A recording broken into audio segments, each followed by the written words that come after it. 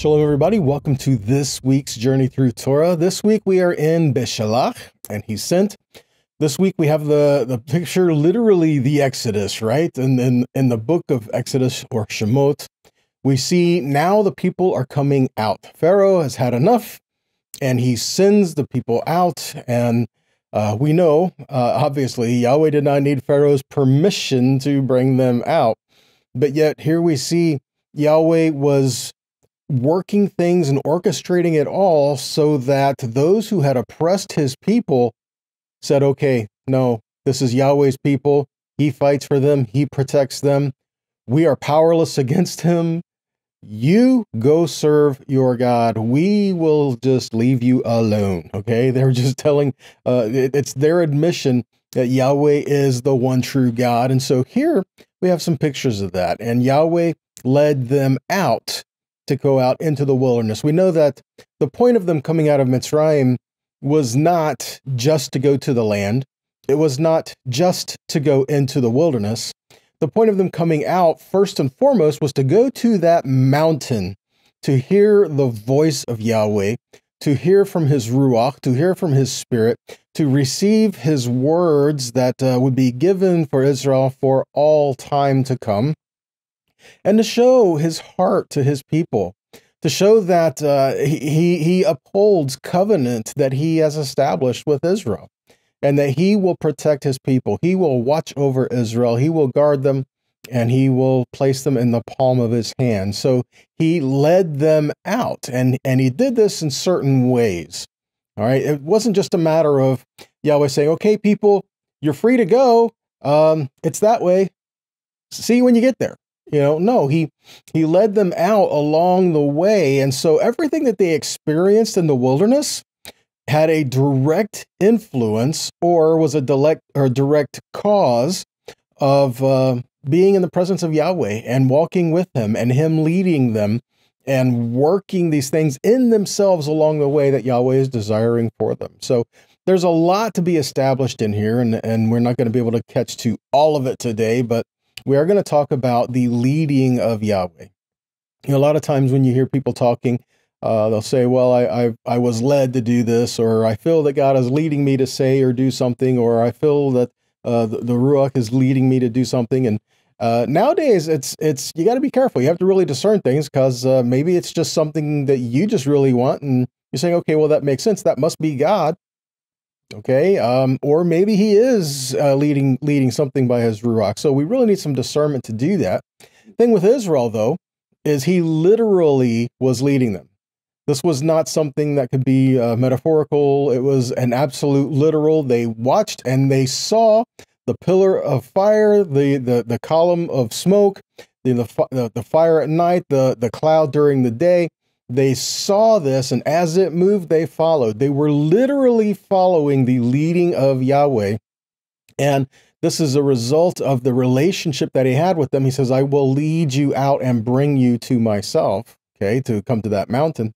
And um, this also shows us some things that is, is relevant for us today. Yahweh will lead his people by his grace and his mercy. And that's one of the things that we're going to see today is that when Yahweh was leading them, he was leading them by their grace and mercy that he was uh, giving to them, even though it may not look like it at first at first take. At first take, uh, when they come out, they immediately face hardship. But why? There's a reason for that. Okay, so let's go to Exodus 13 and let's take a, a quick look at 17 and 18. After Pharaoh had let the people go, God did not lead them. So we're going to look at that word lead for a minute. Did not lead them along the road to the land of the Philistines, although that was nearby, for God said, the people might change their minds if they see war and return to Egypt. So God led the people around the way of the wilderness to the Sea of Reeds, and Bnei Israel went up out of the land of Egypt armed. So the first thing I want to point out is Yahweh didn't take them the quick, easy route, okay? Uh, because it was not easy to do so. It would have been faster, but the potential for them seeing war was better if they followed that route to going through the Philistines. And Yahweh says they're not ready for that. Although we go on and we read, it says that they came out fully armed. So they were completely equipped for battle. The problem is they were not spiritually ready for battle. Although they have physically had the weapons that they needed, they needed to develop this hope and trust in Yahweh that He will fight for them because we see throughout the Torah, they did have battles as they were going through the wilderness. And we see immediately here, Yahweh says, Well, I don't want them to see war yet because then they may grow faint hearted, right? They, they have to learn to trust me. But yet he drove them to the place where Pharaoh and his men come against them to essentially see battle. Okay. So it's kind of like, so are they going to battle the Philistines or are they going to battle uh, Mitzrayim? So, hmm, either way, they're going to see battle. So, but what Yahweh was saying is he's orchestrating this in a way to where they will trust him and, and have faith in him and have that relationship grow. If they go the route of the Philistines, they're going to have to pick up their weapons. They're going to have to do this. And Yahweh says, I'll be with you on the battlefield, but they're going to have to be involved in that. Whereas Yahweh is, had already established when you come out of Mitzrayim, I will crush those that oppress you, and you will never have to worry about them ever again. You will never be looking over your shoulder about the things that bound you and held you back. You will be moving forward.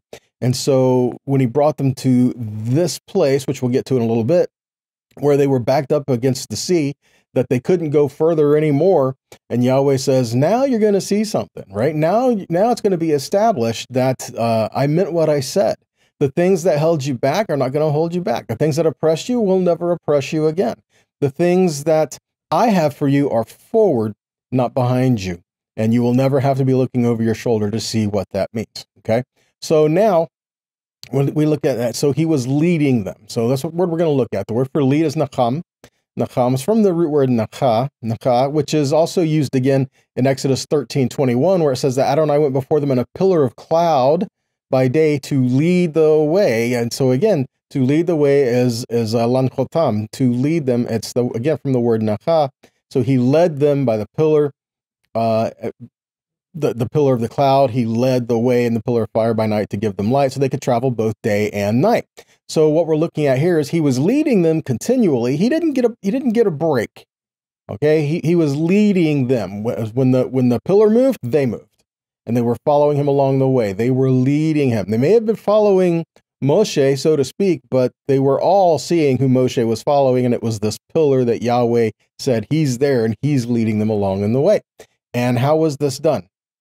In chapter 15, 13, we see it's uh, you're in your loving kindness, you led the people you have redeemed. You guided them in your strength to your holy habitation. So this word lead is also um, meaning uh, like bringing to a goal or bringing them to a place because it says in the Hebrew nachita b'chasdecha im amzo. So you uh, in your loving kindness, in your grace, in your mercy, you led this people, and so that's what we're looking at. So when they get to the other side of the water, you know, in the song, the song at the sea, and after the water came back down over Pharaoh and his uh, and his army, we we see this uh, testimony of song that breaks out and all in the midst of all of that going on in chapter 15 we see it is proclaimed in your mercy in your grace you led this people and they realized that after the fact they couldn't see that it was in his grace and his mercy he led them there as they're facing the idea of we can't go any further and now pharaoh and his army is coming against us to destroy us and we're just basically sitting ducks. We're, there's nothing we can do about it. They couldn't see that in His grace and His mercy, He led them there. But yet, once they got through it, they could look back and see that. So, again, this is one of these things where we have to learn to trust Yahweh and to go through and to follow Him. All right. Another thing is when we're uh, when Yahweh is leading us, we can find a, a, a way to rest in that. We can find a way to rest in Him in that because a lot of times it's unnerving, isn't it? Uh, when you don't know what life holds or what what lays ahead or what's going on or or or what's happening before you, but yet Yahweh does. So when you're following Him, sometimes it's like, okay, what do I do? And and I don't know how this is going. I've never done this before, but yet we we must trust. We must trust Yahweh. Uh, we even see this in the word itself. All right, the word nacha is etymologically related to the word nuach, which is where we get the word rest. Right, nuach. Does that sound familiar? Noah, Noah. But we see this again uh, a seating as in Exodus 33 14. It says, My presence will go with you and I will give you rest. Right? And and that's exactly what it says. Okay. And then we have this word nuach. And this word nuach. So so go, my presence will go with you and I will give you rest. If his presence is with us, he will give us rest. And we see this as well in Proverbs 29 9, where it says, if a, if a wise man argues with a foolish man, he rants or laughs with no resolution. This word says no resolution means ve'enahat, no rest. So there is no rest in the in this argument that's going on, right? So there's no rest in strife, there's no rest in contention, but yet when we have Yahweh's presence with us, there is rest. And I said this was also where we get the word Noah from in Bereshit, Genesis 6 8. Noah found grace in the sight of Adonai. And the word Noah and grace, Noah and chen, it's the same letters. It's just the same word reversed. So we have a picture of uh, rest and grace working together, showing us the picture that we need to learn to rest in the grace of Yahweh. It is He who equips us to go through life, and it is He who uh, brings us into His presence. It is He who is leading us. And if that is the case, then He can give us rest, right? Because I said Exodus 33 14, My presence will go with you, and I will give you rest. But we also see Yeshua says in Matthew 11 28 and 29, Come to me, all who weary and are burdened, and I will give you rest. Take my yoke upon you and learn from me, for I am gentle and humble in heart, and you will find rest for your souls. So we have promises here of finding rest. Now, this this rest is uh, I don't think it means absence of turmoil or absence of problems. Uh, I just mean I just believe that it means trust. You can rest in Yahweh. He will go before you, right? Because where they were led to was not a place of rest. Where they were led to was a place of learning to rest in Yahweh, right? And there was nothing they could do at this point but to see what Yahweh is instructing them to do because it didn't make sense to them. So what happens? Okay, let's go to, over to Exodus 14, verses 1 and 2. It says, Adonai spoke to Moshe, saying, Speak to Bnei Israel, so that they turn back and encamp before Pihaherot between Migdal and the sea, and you are to camp by the sea opposite Baal Zephon. I want to make this point here. This the place where they were to uh, uh, to go to encamp before was Pihaherot, but it can also be read as same spelling, same way, Pihaherut, which means the mouth or opening of liberty. So they were going to this place of the opening of liberty or to the entrance of liberty, to this place. Can you imagine maybe the, the hopeful? This is the place where we're going. Yes, we're going to see this liberty. We're going to see this deliverance. We're going to see all these great things. And when they get there, it's water and we can't swim to the other side what's going to happen here? And then Pharaoh and his troop is coming, right? What in the world is going on here? So we led, we're led to this place of liberty. They're opening to this mouth of liberty, opening to our freedom, opening. Great, awesome. But yet, this was hardship. This was fear. This was a, a war. What are we going to do now, right? So we see in Exodus 14, 11 to 15. So they says to Moshe, Have you taken us away to die in the wilderness because there were no graves in Egypt? Why have you dealt this way with us to bring us out of Egypt? Did we not say to you in Egypt, Leave, let us alone so we may serve the Egyptians? It was better for us to serve the Egyptians than to die in the wilderness. Where was their focus? What were they looking at? What were they paying attention to? Right? Were they paying attention to, okay, well, Yahweh yet led us here. And if he led us here, he's got to have a plan. Um, and then ask, what is the plan and what do we need to do? No, immediately was the uh, uh, the the complaining. Oh, what you brought us out here to die because it wasn't you know you couldn't have just killed us in Egypt. You had to bring us out here to die, right? No, no, no. See, their their their focus was on the wrong thing here. So what happens next? Verse thirteen. Moses says to the people, "Don't be afraid. Stand still and see the salvation of Yahweh. See the salvation of Adonai, which He will perform for you today. You have seen the Egyptians today, but you will never see them again." Ever. So when he says see the salvation of Yahweh, literally he's saying uru is to see or to experience something. Et Yeshua Yahweh, to see or experience the Yeshua of Yahweh. Yeshua is the word for salvation. And I do believe that this is uh, speaking, give, giving us allusions, not illusions, allusions to things that are uh, in throughout the rest of the Torah. To experience, Yahweh says when he brought them out of Mitzrayim, he was redeeming them. And so, how do we see redemption? to we are redeemed because of the Yeshua. We so as we are redeemed, he now brings us to the water. What's next? Mikvah. Okay. So now we're, we're getting ready for this mikvah to see and to experience the salvation, the Yeshua of Yahweh. He is redeeming you. He is bringing you to himself. So get ready. You're going to get wet. All right. What you need to do is uh, to rest and to settle within yourself that Yahweh is, is here and he is leading you along the way. Right? Where else do we see things like this where it says uh, to be still and to trust, right? Second Timothy 1 7 says, God has not given, given us a spirit of fear, but of power, of love, and of a sound mind. Psalm 46 10 and 11 says, Be still and know that I am God. I will be exalted among the heathen. I will be exalted in the earth. Yahweh is with us. The God of Yaakov is our refuge. Selah. And Isaiah 35 4 says, Say to those with fearful hearts, What? Be strong and do not fear, for your God is coming to destroy your enemies. He is coming to save you. And so we have here a picture of the deliverance that was given to them. He see and experience the Yeshua of Yahweh as he was redeeming them, which is exactly what he said was going to happen back at the back when he was talking to Moshe, when Yahweh was talking to Moshe in Exodus chapter 6, when he says, I will redeem you I will bring you out. I will deliver you. I, I will do all of these things for you. He's, this was redeeming. So Yahweh is saying, I am redeeming my people. I am bringing you to myself. And uh, it may not make sense to you now, but when you get on the other side of it, there are some things that you're going to see and experience there. That's why when they, after they got through, they could make some awesome declarations, proclamations, and break forth in this prophetic song that they sang, right? So experiencing the Yeshua of Yahweh. And that's what we're called to do today as well, to experience the Yeshua of Yahweh. Experience Yeshua. He is our Redeemer. He is our Savior. He is the one who, who heals, restores, delivers. By him, the world was made and founded. And, and uh, all of this bringing pictures of Yeshua working in our lives today, even still. Okay?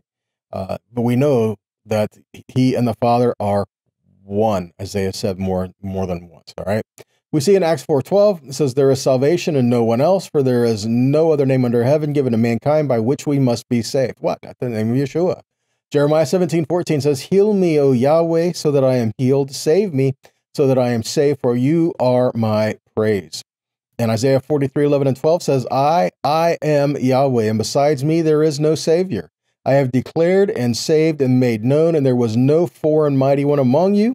You are my witnesses, declares Yahweh, that I am El. The only way that Acts 4.12 could be true is if Jeremiah 17 and Isaiah 43 is true and they're backing up the place together. So here they are.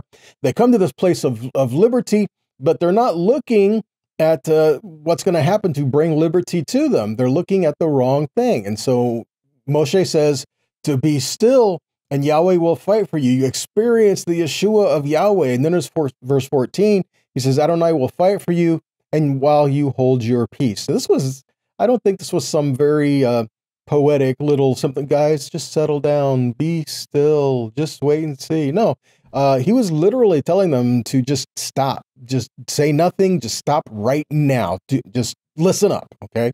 Which uh, we see other things in here as well. It's hard to hard to listen to what Yahweh is telling us when we're trying to talk over him. You know, it's hard to to listen to what Yahweh is trying to say to us if we don't stop long enough to listen to what he's saying, you know? And before before we speak, we need to we need to listen, right? We need to listen to what he has to say to us. And so here he says again, it says that uh, uh, Yahweh Yelechem Lechem Ve'atem, and then this last word here, uh, Tacharishon is the word harash. Harash, when it says while you hold your peace, that word harash, which means to uh, to to not say a word, literally to not be able to say a word. Right? Mute, not able to say anything. Okay. Uh, like being being deaf or unable to absorb auditory stimuli, like it said in Exodus 4:11. Adonai said to him, "Who made man's mouth, or who makes a man mute or deaf, seeing or blind? Is it not I, Adonai?" This is what Yahweh was saying to Moshe. And again, he was he's saying this. It's it's who who makes a man able to speak or able to not speak, right? And the etymological dictionary uh, dictionary of biblical Hebrew, uh, Hirsch says that Charesh is also related to focusing decisively. to make an, an, an intentional effort to focus on something. And if you're focusing on something, you're not going to be doing much talking. Okay. So he's he's saying, listen up, pay attention, focus on what Yahweh is going to do in your midst. And like I said, when Yahweh is wanting to speak to us, we need to be quiet. All right. It also says in Ecclesiastes 5 1 and 2 Do not be quick with your mouth or hasty in your heart to utter a word in God's presence, for God is in heaven and you are on earth. Therefore, let your words be few. As a dream comes with excessive burdens, so a fool's voice with too many words. And in James 1 19 and 20 says, Know this, my dear brothers and sisters. Let every person be quick to listen, slow to speak, and slow to anger, for human anger does not produce the righteousness of God. See, uh, we need to listen to the voice of Yahweh to hear what He is saying to us. Uh, we do not tell Yahweh what, what, what we're going to do or what He's going to do for us, okay? We listen to His voice for what how He is instructing us. Habakkuk 2.20 says, Adonai is in His holy temple. Let, let all the land be silent before Him. In Ecclesiastes 3 1 and 7 says, For everything there is a season and a time for every activity under heaven a time to be silent, and a time to speak. So, again, to discern and knowing these times that are put before us is uh, part of our life, right? Another interesting thing the word charash also means to engrave, to engrave something. So, if we are silent and we listen to Yahweh, He will engrave within us His words that give us life, uh, a place of hope and, and, and, and following Him. Exodus 28, 9, and 11 is also used in this word, where it says you are to take two onyx stones and engrave them, engrave on them the names of Bnei Israel, six of their names on one stone, six of, uh, of the remaining six on the other stone, in the order of their birth. With the work of a gem cutter, this word for gem cutter, harash evan, is just that. This word harash, to engrave, like, like he is engraving a seal, and uh, etch the two stones in the order of the names of Bnei Israel, make them enclosed in settings of gold. Of course, these were the two onyx stones that were on the shoulders of, of Aaron, the high priest. And so, again, showing a picture of the, his names, our names are engraved and put before him. As he speaks to us, he is engraving his word on our hearts, but yet our names are also permanently engraved and put before him, just like our high priest will bear the burdens of his people, you know, on the shoulders, bearing the burdens of the people. It's a picture, another picture of Yeshua. So here they are. They come to this place of liberty, and uh, and but yet in their eyes, this was a place of hardship, right? But Yahweh was going to deliver them. He was going to redeem them, and He's bringing them over to this place of liberty. But they they couldn't see how it was going to happen, right? James 1, 2 through 4 says, Count it all joy, my brothers, when you meet trials of various kinds, for you know that the testing of your faith produces steadfastness, and let steadfastness have its full effect, that you may be perfect and complete, lacking nothing. Romans 8:28 says, "For we know that for those who love God, all things work together for good, for those who are called according to his purpose." So here they are. They're at the mouth of liberty, but they need to change their focus. Moshe saying to, to see the salvation of Yahweh, see the Yeshua of Yahweh, you need to just uh, be silent before Yahweh, be still, and and have faith, right? I mean, this is encouraging them. Have faith. Wait, Yahweh's going to do something amazing in your midst, and just listen, just settle down, just watch, see what's going to happen, right? And then he does something amazing. He turns to Yahweh and says, "What are you doing?" right? It, paraphrasing, but that's what happens. So, so the people are complaining to the Moshe. Moshe is telling them to stand strong, stand firm, have faith, be be silent, listen. God is going to settle it. And then he turns it to, to the heavens and says, uh, "No, what, what what are you doing here?" Right. So then Adonai says to Moshe, "What? what a spiritual conversation, right?" But but this is what happens. Um, he turns to Yahweh and says, "Yahweh, what are you doing? What's happening?" And and Yahweh says, "What are you crying to me for?" How would you like to have your prayers answered like that? You know, think about it for a minute. And you go and you're crying out to Yahweh. He goes, "What do you want me to do about it?" but consider what's happening here. He says, I didn't tell you to stop, but we're at the water. Yeah, but we can't swim. Okay. So what happens now? You go through it. What do you mean you go through it? Just start walking. Hmm. See, again, we're showing a picture of a mikvah, a picture of a, a baptism, coming out, being redeemed, being immersed, changing their status as a people and coming out the other side uh, changed and different, right? And so Yahweh says, Tell the people of Israel, go forward, keep walking. And if we stop and think about it for a minute, like, but I can't swim. If I keep going forward, I'm going to die. And, and I believe that's the idea that Yahweh is, Yahweh is saying the old nature needs to die. The ways of Mitzrayim need to die. The old things that you used to serve and follow need to die. And you're going to come out the other side something new. I will renew you and I will bring you to myself and I will give you everything that you need. Right? Uh, Isaiah 52, 11 and 12 says, Get out and leave your captivity where, where everything you touch is unclean.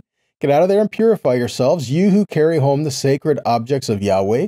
You will not leave in a hurry, running for your lives, for Yahweh will go ahead of you. Yes, the God of Israel will protect you from behind, which we do see as also being quoted uh, uh, uh, later as well in, in, in the scriptures.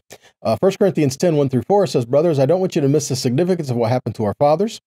All of them were guided by the pillar of cloud, and they all passed through the sea. And, and in connection with the cloud and with the sea, they all immersed themselves into Moshe. Uh, also, they ate the same food from the Spirit, which was we see out of the mouth of God, from the mouth of God. And they all drank the same drink from the Spirit, for they drank from a Spirit sent rock which followed them, and that rock was the Messiah. We're going to go back to verse 2 here for a second. It says, In connection with the cloud and with the sea, they all immersed themselves into Moshe. Okay, did they literally immerse themselves in the Moshe? Were they follow were they following Moses or were they following Yahweh? Well, they were following Yahweh, but Moshe was the one who Yahweh had instructing them and uh, was telling them what he wanted to, for them to have. So they immersed themselves not just into the man Moshe, but into what he was teaching them. Okay, because he was following Yahweh in the midst of that. So, in connection to the cloud, which moved by the angel of Elohim, and the sea, which was the mikvah, they were immersed into the instructions that Moshe would bring for their deliverance and leading them to Sinai, which is the instructions from Yahweh himself. In John chapter 5, verses 46 and 47, we read, For if you believe Moses, you will believe me because he wrote about me. But since you don't believe his writings, how will you believe my words?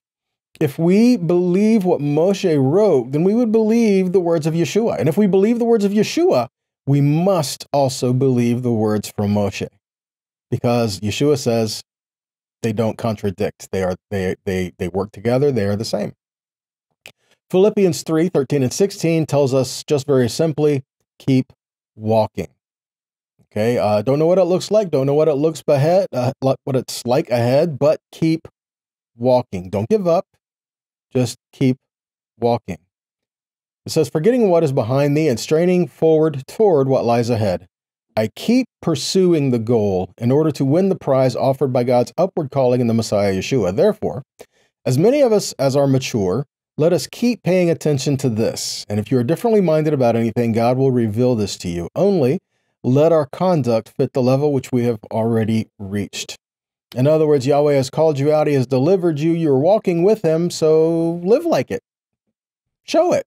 Let it be done in, in your in your day-to-day life and and how you live your life and how uh, things that are important to you and how you're living as a people that are set apart to Yahweh. This is all important, right? Yahweh says, I've redeemed you so that I could bring you to myself. So he redeemed you brought you through the mikvah to bring you to the mountain so that you can receive words of life from him, to show you how to walk in covenant that he has given you as you walk into the promises and into the land that he has prepared for you. So, walking ahead, living ahead, we walk in his word, we walk in his ways. All right. Well, guys, that's all we have for you this week. Um, I pray that this has been encouraging to you. It's been a blessing, and I pray this has been challenging to you as well. We we all need to be challenged so that we can change, right? So if this has been a blessing to you, please share it on whatever outlet you listen or watch. Please share these teachings to help us get the word out there. And if it has been a blessing to you, please consider making a donation to help us continue to get these teachings out there, okay? So until next time, uh, be blessed, be a blessing and we'll see you later on. Shalom.